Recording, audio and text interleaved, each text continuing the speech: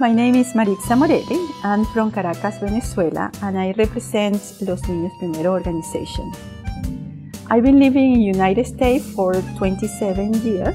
I came in 1990, and I started my career as a school psychology a long time ago. When I came to United States, I um, started working in the school system, educational school system, and then the Mount Vernon Presbyterian Church called me in 2001 to direct a summer program for Latino preschoolers. And since then, I have been directing the organization.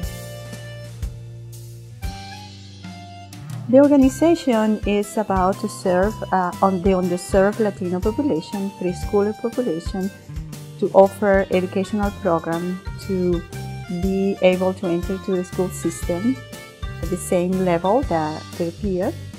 And uh, we provide not only activities for the preschoolers, we have a lot of layers so we can keep the kids connected to the program until they are teenagers so they can come back and uh, give back to their community. We have a strong parental engagement program. We have a very large teen volunteer program. 42% of the children that started with us at three years old came back as a team volunteer. And we have extracurricular activities throughout the year, as long with Saturday school for the three and four years old. The biggest challenge is um, to keep the hope, especially in these um, political climates for the for the parents.